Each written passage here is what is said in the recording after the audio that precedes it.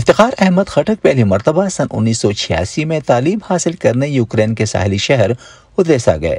اس کے بعد وہ وہیں کے ہو کر رہ گئے اور ایک فارنسک ایکسپرٹ کے طور پر اپنی پہچان بنائی۔ گزشتہ سال جب روسی فوج نے یوکرین پر حملہ کیا تو لاکھوں کی تعداد میں لوگوں نے جان بچانے کی غرض سے دیگر ممالک کا رخ کیا، مگر افتخار احمد نے تاحال اپنا شہر نہیں چھوڑا۔ افتخار احمد کے مطابق ایک سال سے جاری جنگ نے یوکرین میں بہت کچھ بدل کر رکھ دیا ہے۔ جنگ سے پہلے یوکرین ایک اقتصادی ترقی یافتہ ملک تھا، ترقی کر رہا تھا۔ سپر مارکیٹ کام کر رہے تھے، لوگ جو ہے نا آرام کر رہے تھے بچے کھیل رہے تھے، لیکن جنگ کے بعد بہت مسئلے آ گئے ہیں۔ فار ایگزامپل الیکٹرک اسٹیشن جو رشین راکٹس کے ذریعے سے جو ہے نا تباہ ہو گئے ہیں۔ انٹرنیٹ کام نہیں کر رہا ہے۔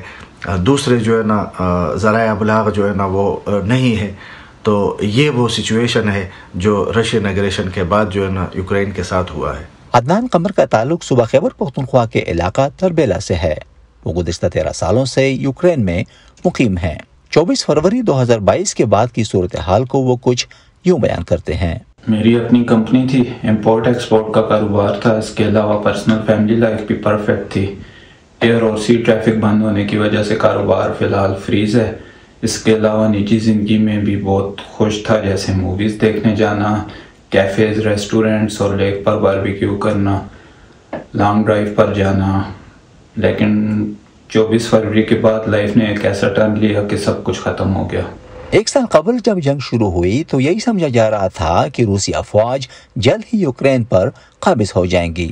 تاہم عالمی برادری کی بھرپور مدد کے باعث یوکرینی فوج اور عوام ہر طرح سے اپنے ملک کا دفاع کر رہے ہیں۔ افتخار احمد خٹک کے مطابق یہ مزاحمت خود ان کے لیے بھی حیران کن ہے۔